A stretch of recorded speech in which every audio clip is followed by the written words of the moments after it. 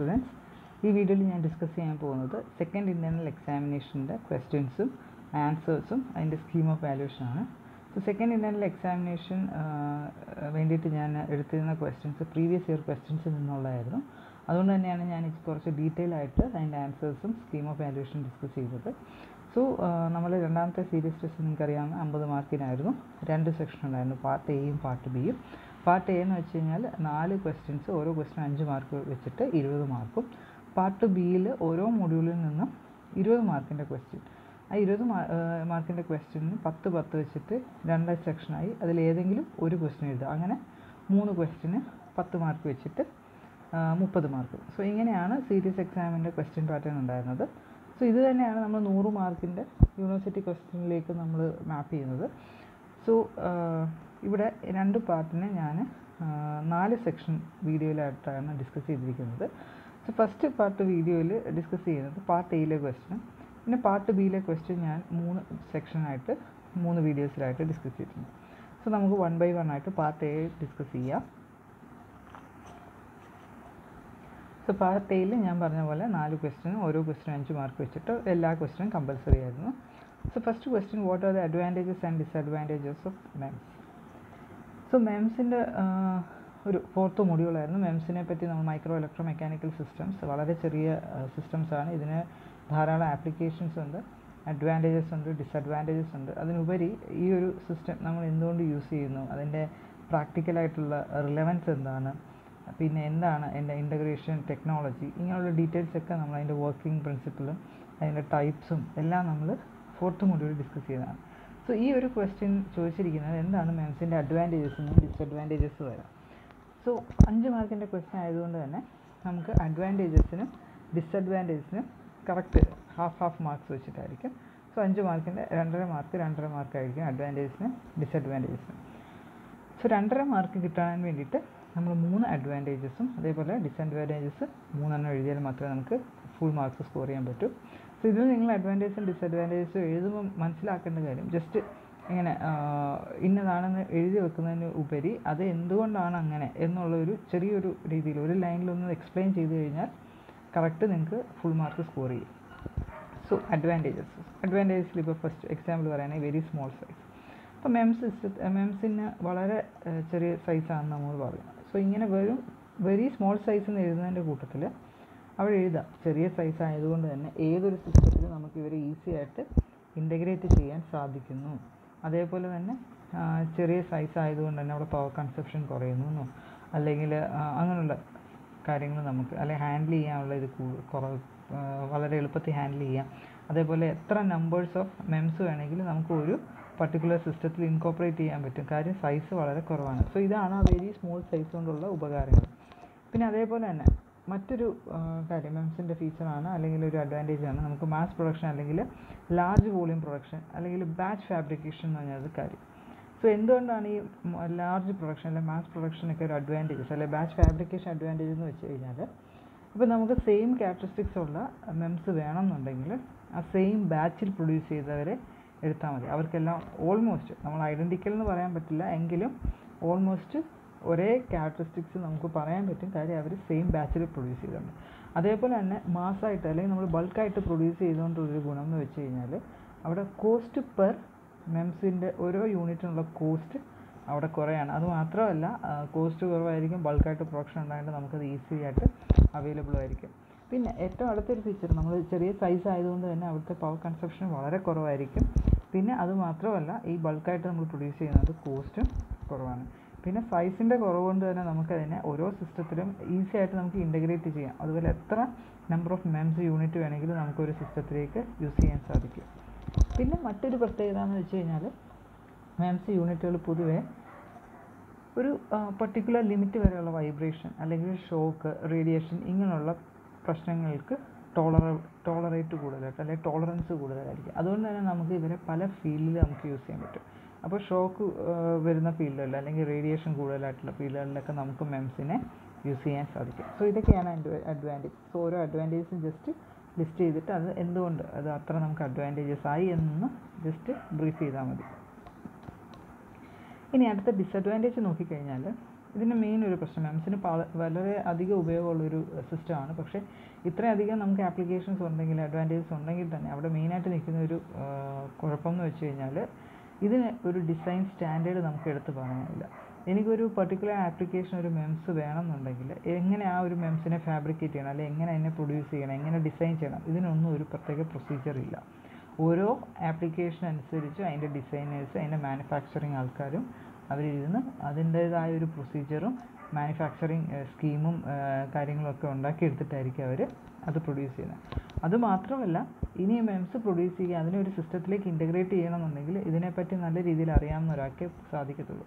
So just ഒരു basic theory knowledge ഉണ്ട്? അല്ലെങ്കിൽ ജസ്റ്റ് മെംസിനെ പറ്റി കുറച്ച് അറിയാമെന്ന് പറഞ്ഞാൽ നമുക്ക് ഓണെ സഡൻ ചെന്നിട്ട് ചെയ്യാമെന്നൊരു കാര്യമല്ല മെംസിന്റെ ഫാബ്രിക്കേഷനും ഇന്റഗ്രേഷനും പിന്നെ മറ്റൊരു പ്രശ്നം എന്ന് വെച്ച് കഴിഞ്ഞാൽ ഇപ്പോൾ മെംസിന്റെ മാനുഫാക്ചറിങ്ങിന് ഒത്തിരി ഗുണങ്ങളുണ്ടെങ്കിലും നമുക്ക് മെംസിന്റെ ഒരു മാനുഫാക്ചറിങ് യൂണിറ്റ് തുടങ്ങണം എന്നുണ്ടെങ്കിൽ അവിടെ നമുക്ക് വേണ്ട ഇനിഷ്യൽ കോസ്റ്റ് അല്ലെങ്കിൽ മുതൽ മുടക്കം എന്ന് പറയുന്നത് വളരെ കൂടുതലായിരിക്കും. പിന്നെ മറ്റൊരു ഇലക്ട്രിക്കൽ വ്യൂ പോയിന്റിലുള്ള ഒരു പ്രശ്നം അല്ലെങ്കിൽ നമ്മളുടെ പവർ ട്രാൻസ്ഫർ തിയറി വെച്ചിട്ട് നമ്മൾ നോക്കിക്കഴിഞ്ഞാൽ മെംസിന്റെ സൈസ് വളരെ ചെറുതായതുകൊണ്ട് തന്നെ നമുക്ക് ഈസി ആയിട്ടൊരു പവർ ട്രാൻസ്ഫർ മെത്തഡോളജി ഇവിടെ ഫോളോ ചെയ്യാൻ പറ്റുന്നില്ല. അല്ലെങ്കിൽ ഫിസിക്കലി പോസിബിൾ അല്ല. പിന്നെ മെംസിന്റെ കാര്യം പറഞ്ഞാൽ ഇതിന്റെ മാനുഫാക്ചറിങ് ഇത് നോക്കിക്കഴിഞ്ഞാൽ നമുക്ക് മനസ്സിലായി. മെയിൻലി മെംസിനെ മാനുഫാക്ചർ ചെയ്യാൻ നമ്മൾ പോളിക്രിസ്റ്റൈൻ സിലിക്കൺ ആണ് ഉപയോഗിക്കുന്നത് സോ പോളിക്രിസ്റ്റൈൻ സിലിക്കൺ എന്ന് വെച്ചാൽ വളരെ ചെറിയ തിക്നെസ് ഉള്ള വേഫേഴ്സ് ആണ്. സെമി കണ്ടക്ടർ വേഫേഴ്സ് ആണ്. സോ അതുകൊണ്ട് തന്നെ ഒരു പെർട്ടിക്കുലർ ലിമിറ്റിനപ്പുറമുള്ള മെക്കാനിക്കൽ ലോഡുകൾ ചെന്ന് കഴിഞ്ഞാൽ മെംസ് ഡാമേജ് ആയിപ്പോവും പിന്നെ ഒരു വൺ കിലോ ഹെഡ്സ് ഫ്രീക്വൻസിക്ക് മേളിലായിരിക്കും മെംസിന് നല്ല രീതിയിൽ വർക്ക് ചെയ്യാൻ പറ്റുക. ചെറിയ ഫ്രീക്വൻസികളിലൊക്കെ വന്നു കഴിഞ്ഞാൽ മെംസിന്റെ ഫങ്ഷനിങ് അവിടെ നോയ്സ് കാരണം ഡിസ്റ്റർബൻസ് ഉണ്ടാവുകയും അതുപോലെ തന്നെ ഈ നോയ്സ് കാരണം ഡിസ്റ്റർബൻസ് ഉണ്ടായത് കാരണം അതിന്റെ റെസ്പോൺസ് വളരെ കുറവായിരിക്കും. അപ്പോൾ നമ്മൾ ഈ പറയുന്ന പോലെ മെംസിന് നല്ല രീതിയിൽ അവിടെ പെർഫോം ചെയ്യാൻ സാധിക്കത്തില്ല. സോ ഇതൊക്കെയാണ് ഇതിന്റെ ഡിസഡ്വാന്റേജസ് സോ ഏതെങ്കിലും മൂന്ന് അഡ്വാന്റേജസും മൂന്ന് ഡിസഡ്വാന്റേജസും ഇനി അതല്ല അഞ്ച് മാർക്കിന് തന്നെയാണ് അഡ്വാന്റേജസ് അഞ്ച് മാർക്കിന് ഡിസഡ്വാന്റേജും ആണ് ചോദിക്കുന്നതെങ്കിൽ മിനിമം അവിടെ അഞ്ച് പോയിന്റ്സ് നമ്മൾ ഹൈലൈറ്റ് ചെയ്യേണ്ടി വരും. സെക്കൻഡ് ക്വസ്റ്റ്യൻ ആണ് define and industrial automation system and enlist its components so എന്താണ് ഇൻഡസ്ട്രിയൽ ഓട്ടോമേഷൻ സിസ്റ്റം അതിനെ ഒന്ന് ഡിഫൈൻ ചെയ്യാനാണ് പറഞ്ഞിരിക്കുന്നത്. ജസ്റ്റ് അവിടെ തന്നെ ആ ക്വസ്റ്റ്യനിൽ തന്നെ പറഞ്ഞിട്ടുണ്ട്. നമ്മൾ കണ്ടമാനം എഴുതേണ്ട ആവശ്യമില്ല. കാര്യം ഡിഫൈൻ ചെയ്യാൻ മാത്രമേ പറഞ്ഞിട്ടുള്ളൂ. ഇൻഡസ്ട്രി ഓട്ടോമേഷൻ സിസ്റ്റം എന്താണ് എന്തിനു വേണ്ടിയാണ് ഇങ്ങനെ ഒന്ന് ജസ്റ്റ് ഡിഫൈൻ ചെയ്യാം. പിന്നെ എൻലിസ്റ്റ് എൻലിസ്റ്റ് കോമ്പണൻസ് അതിന്റെ എന്തൊക്കെയാണ് കോമ്പണൻസ് എന്നുള്ളത് ജസ്റ്റ് ഒന്ന് എൻലിസ്റ്റ് ചെയ്താൽ മതി. നമ്മൾ അതിനെപ്പറ്റി ഡീറ്റെയിൽ ആയിട്ട് എക്സ്പ്ലെയിൻ ചെയ്യേണ്ട ആവശ്യമില്ല. സോ ഇതിൽ മാർക്ക് ഡിവിഷൻ എന്ന് പറഞ്ഞാൽ നമ്മൾ ഇൻഡസ്ട്രി ഓട്ടോമേഷൻ സിസ്റ്റത്തെ ഡിഫൈൻ ചെയ്യുന്നതിന് മൂന്ന് മാർക്ക് അതിന്റെ കോമ്പണൻസിനെ ജസ്റ്റ് ഒന്ന് എൻലിസ്റ്റ് ചെയ്യുന്നത്. വേണമെങ്കിൽ ഒറ്റ ലൈനിൽ ഒന്ന് എന്താണ് ആ കോമ്പണന്റിന്റെ മെയിൻ ഫങ്ഷൻ വേണമെങ്കിൽ നമുക്കൊന്ന് എഴുതാം. അത്ര മാത്രം മതി അതിന് രണ്ട് മാർക്സ് ആയിരിക്കും. സോ ഇനി എന്താണ് ഇൻഡസ്ട്രിയൽ ഓട്ടോമേഷൻ സിസ്റ്റംസ് അല്ലെങ്കിൽ ഓട്ടോമേഷൻ സിസ്റ്റംസ് സോ ഏതൊരു ഓട്ടോമേഷൻ സിസ്റ്റം നമുക്ക് പറയാവുന്നതെന്ന് വെച്ചാൽ നമ്മുടെ ഹ്യൂമൻ എഫേർട്ട് കുറയ്ക്കാൻ വേണ്ടിയിട്ട് നമ്മൾ തന്നെ കണ്ടുപിടിച്ച ഒരു സെറ്റ് ഓഫ് ടെക്നോളജിയാണ് സോ ഇത് വെച്ചിട്ട് നമ്മൾ എന്താ ചെയ്യുന്നതെന്ന് വെച്ചാൽ നമുക്ക് വേണ്ട സിസ്റ്റംസ് അല്ലെങ്കിൽ മെഷീൻസ് അല്ലെങ്കിൽ പ്രോസസ്സ് ഇവരെയൊക്കെ സ്വയം പ്രാപ്തരാക്കുക. സെൽഫായിട്ട് കേപ്പബിൾ ആക്കിയിട്ട് അവർ തന്നെ അവരുടെ ഓപ്പറേഷൻസ് ക്യാരി ചെയ്യുന്നു. അതേപോലെ അവർക്ക് വരുന്ന ഡിസ്റ്റർബൻസസിനെ ഡിഫിക്കൽട്ടീസിനെ അവർ തന്നെ സോൾവ് ചെയ്ത് മുന്നോട്ട് പോകുന്ന ഒരു ടൈപ്പ് ഓഫ് സിസ്റ്റമാണ് ഓട്ടോമേഷൻ സിസ്റ്റം സോ നമ്മൾ ഇതിന് വേണ്ടിയിട്ട് നമ്മൾ പല രീതിയിലുള്ള ടെക്നോളജീസ് യൂസ് ചെയ്യാറുണ്ട്. അപ്പം ഇതിന്റെ ഒരു ഇത് നമ്മൾക്ക് ഹ്യൂമൻ ബീങ്സിന് എഫേർട്ട് കുറയ്ക്കാൻ വേണ്ടി നമ്മൾ ചെയ്തതാണെങ്കിൽ പക്ഷേ ഈ ഒരു സിസ്റ്റം ഡിപ്ലോയ് ചെയ്തതിന് ശേഷം നമുക്ക് മനസ്സിലാകാൻ പറ്റി. നമുക്ക് ധാരാളം പ്രോഡക്ട്സുകൾ സെയിം ക്വാളിറ്റി ഒരു മിനിമം ക്വാളിറ്റി അഷുറൻസിൽ ഉണ്ടാക്കാൻ സാധിക്കുന്നു. അതുമാത്രമല്ല ഓട്ടോമേഷൻ സിസ്റ്റംസ് വന്നപ്പോൾ ഹ്യൂമൻ എഫേർട്ട് കുറഞ്ഞു അല്ലെങ്കിൽ മാനുവൽ ഓപ്പറേഷൻ അവിടെ കുറഞ്ഞു. അതേപോലെ തന്നെ സുപ്പീരിയർ ക്വാളിറ്റി അല്ലെങ്കിൽ സുപ്പീരിയർ പെർഫോമൻസ് അവിടെ അച്ചീവ് ചെയ്യാൻ സാധിച്ചു. സോ ഇത് ഒരു നമുക്ക് ഞാൻ പറഞ്ഞ പോലെ ഒരു പർട്ടിക്കുലർ ഏരിയ എന്ന് നമുക്ക് പറയാൻ പറ്റില്ല. ഒരു സെറ്റ് ഓഫ് ടെക്നോളജിയാണ് മെയിൻലി ഇതിനകത്ത് പല ടൈപ്പ് ഓഫ് കൺട്രോൾ സിസ്റ്റംസ് നമ്മൾ യൂസ് ചെയ്യുന്നുണ്ട്. സോ ഈ കൺട്രോൾ സിസ്റ്റംസ് ഉപയോഗിച്ചിട്ട് നമ്മൾ വളരെ ചെറിയ പ്രോസസ്സർ ചെറിയ ഫാക്ടറീസ് ഉള്ള ചെറിയ പ്രോസസ്സർ അതേപോലെ മെഷീനറീസിനെ അല്ലെങ്കിൽ ബോയിലേഴ്സോ ഓവൻസോ ഇങ്ങനെയുള്ള കാര്യങ്ങളെ കൺട്രോൾ ചെയ്യുക. അതിനുപരി ഏറ്റവും ഹൈ എൻഡിൽ വരുമ്പോൾ ഒരു ഷിപ്പിനെ നയിക്കുക സ്റ്റിയർ ചെയ്യുക സ്റ്റെബിലൈസ് ചെയ്യുക അതുപോലെ ഒരു എയർക്രാഫ്റ്റിനെ ഓട്ടോ മോഡിൽ നയിക്കുക. ഇങ്ങനെയുള്ള ഹയർ എൻഡിൽ ഓപ്പറേഷൻസ് വരെ ചെയ്യാൻ കേപ്പബിൾ ആയിട്ടുള്ള സിസ്റ്റംസ് ആണ് ഓട്ടോമേഷൻ സിസ്റ്റംസ് സോ ഇവിടെ എല്ലാം നോക്കിക്കഴിഞ്ഞാൽ നമുക്ക് മിനിമം അല്ലെങ്കിൽ റെഡ്യൂസ്ഡ് ആയിട്ടുള്ള ഹ്യൂമൻ ഇന്റർവെൻഷൻ ആയിരിക്കും. അതേപോലെ ഇത് നമ്മൾ എനേബിൾ അച്ചീവ് ചെയ്തിരിക്കുന്നത് വെച്ചാൽ കൺട്രോൾ സിസ്റ്റംസും അതേപോലെ തന്നെ സെറ്റ് ഓഫ് ഇൻസ്ട്രക്ഷൻസ് ആണ്. സോ ഈ ഇൻസ്ട്രക്ഷൻ അനുസരിച്ച് ഓപ്പറേറ്റ് ചെയ്യുന്ന സിസ്റ്റംസ് ആണ് നമ്മളുടെ automation സിസ്റ്റത്തിനകത്തുള്ള control systems so human interventions കുറയ്ക്കാൻ വേണ്ടിയിട്ട് ഹ്യൂമൻസാൽ നിർമ്മിതമായ ഒരു സെറ്റ് ഓഫ് ടെക്നോളജി അതിൽ കുറേ ഇൻസ്ട്രക്ഷൻസ് ഉണ്ടാവും. എങ്ങനെയാണ് ആ ഒരു പ്രോസസ്സ് അല്ലെങ്കിൽ ആ ഒരു യൂണിറ്റ് എങ്ങനെ റൺ ചെയ്യണം എന്നുള്ളത് അതിനകത്തുണ്ടാവും. ഓരോ എറർ വന്നു കഴിഞ്ഞാൽ ഒരു പ്രശ്നം ഉണ്ടായിക്കഴിഞ്ഞാൽ എങ്ങനെ അതിനെ റെക്ടിഫൈ ചെയ്യണമെന്നുണ്ടാവും ഇതെല്ലാം നമ്മളൊരു ഇൻസ്ട്രക്ഷൻ രീതിയിൽ എഴുതിയിട്ടുണ്ടാവും ഈ ഇൻസ്ട്രക്ഷൻസിനനുസരിച്ച് പ്രവർത്തിക്കുന്ന കൺട്രോൾ സിസ്റ്റംസും മെഷീൻസും എല്ലാം ഉള്ളൊരു ടെക്നോളജിയാണ് സെറ്റ് ഓഫ് ടെക്നോളജിയാണ് ഓട്ടോമേഷൻ സിസ്റ്റം ഇനി അതിന്റെ കോമ്പണൻസ് എന്തൊക്കെയാണെന്ന് ചോദിച്ചിട്ടുണ്ട്. സോ കോമ്പണൻസ് നമ്മൾ അതിന്റെ ആർക്കിടെക്ചർ ഡയഗ്രാം നോക്കിക്കഴിഞ്ഞാൽ അതായത് ഒരു പിരമിഡ് ഡയഗ്രാം ആയിട്ടാണ് നമ്മൾ അതിനെ കോമ്പണൻസ് നമ്മൾ എക്സ്പ്ലെയിൻ ചെയ്തിരിക്കുന്നത്. അല്ലെങ്കിൽ പിരമിഡ് ആർക്കിടെക്ചർ ആയിട്ടാണ് പറയുന്നത്. കാര്യം ഓരോ ലെയറും അതിന് തൊട്ട് മുകളിലത്തെ ലെയറുമായിട്ട് അറ്റാച്ച് ചെയ്തിരിക്കുകയാണ്. സോ അതിന്റെ ഏറ്റവും ബേസ് ലെയർ ആയിട്ട് നമ്മൾ പറയുന്നത് സെൻസേഴ്സ് ആൻഡ് ആക്ച്വേറ്റേഴ്സ് അതിന് തൊട്ട് മുകളിൽ ഓട്ടോമേഷൻ കൺട്രോൾ അതിന് മുകളിൽ സൂപ്പർവൈസറി കൺട്രോൾ അതിന് മുകളിൽ പ്രൊഡക്ഷൻ കൺട്രോൾ അതിന് മുകളിൽ എന്റർപ്രൈസ് സോ ഇതിൽ നമ്മൾ പറഞ്ഞ നമ്മളുടെ പ്രോസസ്സുമായിട്ട് അല്ലെങ്കിൽ മെഷീൻസുമായിട്ട് ഡയറക്റ്റ് കോൺടാക്റ്റ് മേക്ക് ചെയ്യുന്നത് എപ്പോഴും സെൻസേഴ്സും ആക്ച്വേറ്റേഴ്സുമാണ് സോ സെൻസേഴ്സിന്റെ മെയിൻ ഡ്യൂട്ടി എന്ന് വെച്ച് കഴിഞ്ഞാൽ എന്ത് പ്രോസസ്സാണ് അല്ലെങ്കിൽ എന്ത് ഫംഗ്ഷനാണോ അവിടെ നടക്കുന്നത് അതിന് ഫംഗ്ഷന്റെ വേരിയബിൾസിനെ അല്ലെങ്കിൽ എന്തൊക്കെ റിക്വയർമെന്റ്സ് അവിടെ ഉണ്ടോ അതിന്റെ എല്ലാം സെൻസ് ചെയ്ത് ഓട്ടോമാറ്റിക് കൺട്രോൾ യൂണിറ്റിലേക്ക് കൊടുക്കുക എന്നുള്ളതാണ് സെൻസേഴ്സിന്റെ ഡ്യൂട്ടി ഇനി ഓട്ടോമാറ്റിക് കൺട്രോൾ യൂണിറ്റ് ആയിരിക്കും ആ പ്രോസസ്സുകളെല്ലാം കറക്റ്റായിട്ട് നടക്കുന്നുണ്ട്. ഇനി നടക്കുന്നില്ലെങ്കിൽ എന്താണ് അതിനൊരു ആക്ഷൻ എടുക്കേണ്ടത് അത് ആക്ച്വേറ്റേഴ്സ് വഴി തിരിച്ച് ചെയ്യുന്നതാണ് കൺ ഓട്ടോമാറ്റിക് കൺട്രോൾ യൂണിറ്റിന്റെ ഡ്യൂട്ടി ഇനി ഈ ഓട്ടോമാറ്റിക് കൺട്രോൾ യൂണിറ്റും അതേപോലെ സെൻസേഴ്സ് ആൻഡ് ആക്ച്വേറ്റേഴ്സിന്റെ വർക്കിങ്ങും ഒന്ന് സൂപ്പർവൈസ് ചെയ്യുന്ന ആളാണ് സൂപ്പർവൈസറി കൺട്രോൾ അതേപോലെ തന്നെ ഈ പ്രൊഡക്ഷൻ ആൻഡ് കൺട്രോൾ യൂണിറ്റാണ് നമ്മളുടെ ഫുൾ യൂണിറ്റിനെ ഒബ്സർവ് ചെയ്യുകയും അതിന്റെ കാര്യങ്ങളെല്ലാം മൊത്തത്തിൽ നോക്കി നടത്തുന്നത് അതുപോലെ വേണ്ട ഇൻസ്ട്രക്ഷൻസ് കൊടുക്കേണ്ടത്. അതേപോലെ തന്നെ ചിലപ്പോൾ നമ്മൾ പ്രോഗ്രാം ചെയ്യാത്ത എന്തെങ്കിലും എററുകൾ വന്നു കഴിഞ്ഞാൽ അതിനെ എങ്ങനെ ഹാൻഡിൽ ചെയ്യണം എന്നൊക്കെയുള്ളത് ഡീൽ ചെയ്യുന്നത് പ്രൊഡക്ഷൻ ആൻഡ് കൺട്രോൾ പിന്നെ ഏറ്റവും മേളിലായിട്ട് എന്റർപ്രൈസ് എന്ന് പറഞ്ഞാൽ ഒരു ഹ്യൂമൻ ബീങ് അല്ലെങ്കിൽ അതിന് തക്കതായ ഒരാൾ ഇരുന്ന് മൊത്തം മോണിറ്റർ ചെയ്യുന്നതായിരിക്കും അതിന്റെ എന്റർപ്രൈസ് സോ ഇത്രയാണ് ഇതിന്റെ കോമ്പണൻസ് എൻലിസ്റ്റ് ചെയ്യുക എന്ന് പറയുമ്പോൾ നമ്മൾ എഴുതേണ്ടത്. ഇനി അടുത്ത ക്വസ്റ്റ്യൻ ആണ്. Compare P L C with P C so P L C നമുക്കറിയാം പ്രോഗ്രാമബിൾ ലോജിക് കൺട്രോളർ അതേപോലെ പി സി എന്ന് വെച്ച് കഴിഞ്ഞാൽ personal computer so programmable logic controllers നമ്മൾ ഓട്ടോമാറ്റിക് ഓട്ടോമേഷൻ സിസ്റ്റത്തിനകത്ത് ഉപയോഗിക്കുന്ന കൺട്രോൾസ് കൺട്രോളേഴ്സാണ് പക്ഷേ പി സി എന്ന് വെച്ച് കഴിഞ്ഞാൽ നമ്മൾ ഹ്യൂമൻ ബീങ്സിന് ലെഷർ ടൈമും അതേപോലെ തന്നെ ചെറിയ വർക്ക്സുകളൊക്കെ നടത്താൻ വേണ്ടി നമ്മൾ ഉപയോഗിക്കുന്ന നമ്മളുടെ സിസ്റ്റംസ് അല്ലെങ്കിൽ നമ്മുടെ കൺട്രോളേഴ്സാണ് പി സിസ് സോ ഇനി എന്താണ് ഇവർ തമ്മിലുള്ള ഡിഫറൻസ് സോ അഞ്ച് മാർക്കിന്റെ ക്വസ്റ്റ്യൻ ആയതുകൊണ്ട് മിനിമം നമ്മൾ ഒരു മൂന്നോ നാലോ കമ്പാരിസൺ അവിടെ ഹൈലൈറ്റ് ചെയ്യേണ്ടി വരും. എങ്കിലാണ് നമുക്ക് അഞ്ച് മാർക്ക് അവിടെ കിട്ടുന്നത്. സോ ബേസിക്കലി നമ്മൾ നോക്കിക്കഴിഞ്ഞാൽ പി എസ് സിയും പി സിയുടെയും ഫസ്റ്റ് ഡിഫറൻസ് എന്ന് വെച്ച് കഴിഞ്ഞാൽ പി എൽ സി നമ്മളെപ്പോഴും അവരെ പ്രൊഡ്യൂസ് ചെയ്യുന്നത് അതേപോലെ അവരെ ഉണ്ടാക്കി വെച്ചിരിക്കുന്നത് നമ്മൾക്ക് ഇൻഡസ്ട്രിയൽ എൻവയൺമെന്റിൽ അല്ലെങ്കിൽ കുറച്ചുകൂടെ ഹാഷായിട്ടുള്ള അല്ലെങ്കിൽ നമ്മളുടെ നോർമൽ എൻവയൺമെന്റിൽ നിന്ന് മാറി ഒരു ജോലി എടുക്കേണ്ട സ്ഥലത്താണ് നമുക്ക് പി എൽ സിയെ ഉപകരിക്കുന്നത്. പക്ഷേ പി സി എന്ന് വെച്ച് കഴിഞ്ഞാൽ നോർമൽ കസ്റ്റമൈസബിൾ ആയിട്ടുള്ള അല്ലെങ്കിൽ നമ്മളുടെ ഹ്യൂമൻ ലെവലിൽ നിന്നുകൊണ്ട് ചെയ്യാൻ പറ്റുന്ന എൻവയൺമെന്റിലായിരിക്കും നമ്മൾ പി സിസ് ഉപയോഗിക്കുക. ഇനി രണ്ടാമത്തെ അതിന്റെ കാര്യം നോക്കി കഴിഞ്ഞാൽ ഇതിനെ പ്രോഗ്രാം ചെയ്യുന്നത്. അപ്പോൾ രണ്ടും പി എൽ സി ആണെങ്കിലും പി സി ആണെങ്കിലും രണ്ടും വർക്ക് ചെയ്യണമെന്നുണ്ടെങ്കിൽ അവിടെ പ്രോഗ്രാം ചെയ്യണം. സോ പി എൽ സിയുടെ പ്രോഗ്രാമിംഗ് ഞാൻ പറഞ്ഞിട്ടുണ്ട് നേരത്തെ റിലേ ലാഡർ ലോജിക് എന്ന് പറഞ്ഞ പ്രോഗ്രാമിംഗ് ആണ്. പക്ഷേ പി സിയുടെ പ്രോഗ്രാമിംഗ് നമുക്കറിയാം. നമ്മൾ യൂസ് ചെയ്യുന്ന വിൻഡോസ് ആയാലും അല്ലെങ്കിൽ ലിനക്സ് ആയാലും എന്ത് ഡോസ് ആണെങ്കിലും മറ്റേ ലിനക്സ് ആയിട്ടുള്ള ഓപ്പറേറ്റിംഗ് സിസ്റ്റംസ് ആയാലും എന്ത് ഓപ്പറേറ്റിംഗ് സിസ്റ്റത്തിലായാലും അതിൽ നമ്മൾ യൂസ് ചെയ്യുന്ന പ്രോഗ്രാമിംഗ് കുറച്ചുകൂടെ ഒരു എന്താ പറയുക ഒരു ലോജിക്ക് ഉണ്ടാവും. പക്ഷേ അതൊരു റിട്ടേൺ ആയിട്ടുള്ള പ്രോഗ്രാം ആയിരിക്കും. പക്ഷേ റിലേ ലാഡർ ലോജിക്ക് എന്ന് വെച്ച് കഴിഞ്ഞാൽ അത് റിട്ടേൺ അല്ല അതൊരു ഗ്രാഫിക്കൽ ആയിട്ടുള്ള ഒരു പ്രോഗ്രാമിംഗ് ആണ്. പിന്നെ പി എൽ സിയുടെ നോക്കിക്കഴിഞ്ഞാൽ അതിന്റെ മെയിൻ ജോലി എന്ന് വെച്ച് കഴിഞ്ഞാൽ ആ സിസ്റ്റം മൊത്തം അല്ലെങ്കിൽ ആ ഒരു പ്രോസസ്സിനെ മൊത്തം കൺട്രോൾ ചെയ്യുക എന്നുള്ളത് കൊണ്ട് തന്നെ അവിടെ കീബോർഡോ അല്ലെങ്കിൽ സി ഡി ഡ്രൈവോ മോണിറ്ററോ ഡിസ്ക് ഡ്രൈവോ ഇങ്ങനെയുള്ള കാര്യങ്ങളൊന്നും ആവശ്യമില്ല.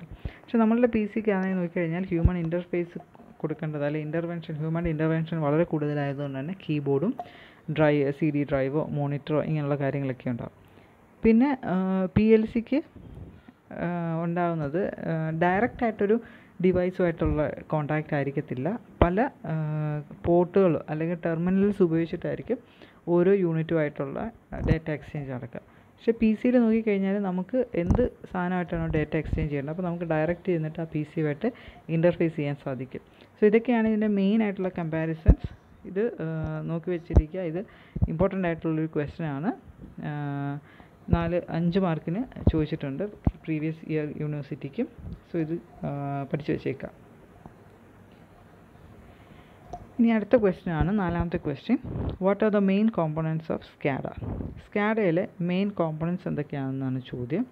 സോ സ്കാഡ നമുക്കറിയാം supervisory control and data acquisition ഇതൊരു പ്രോഗ്രാമിംഗ് കൺട്രോളിങ് പ്രോസസ് കൺട്രോൾ ആയിട്ടുള്ള ഒരു പ്രോഗ്രാം ലോജിക്കാണ് സോ ഇതിന്റെ മെയിൻ കോമ്പണൻസിനെ പറ്റിയാണ് ചോദിച്ചിരിക്കുന്നത്. അതുകൊണ്ട് തന്നെ നമ്മൾ ആദ്യം ഏതൊക്കെയാണ് ഇതിന്റെ മെയിൻ കോമ്പണൻസ് എന്നുള്ളതൊന്ന് ലിസ്റ്റ് ചെയ്യുക. അതിന് രണ്ട് മാർക്ക് പിന്നെ ഓരോ കോമ്പണന്റിനെ പറ്റി ജസ്റ്റ് ഒന്നോ രണ്ടോ ലൈനിൽ അത് എന്താണ് മെയിനായിട്ട് എന്തുകൊണ്ടാണ് എന്താണ് അതുകൊണ്ട് ഉദ്ദേശിക്കുന്നത് എന്നുള്ളത് ഒന്ന് രണ്ട് ലൈനിൽ എഴുതുന്നതിന് മൂന്ന് മാർക്ക് വേണം.